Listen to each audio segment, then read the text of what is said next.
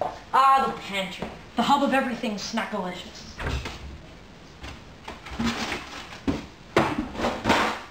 But obviously not we alicious.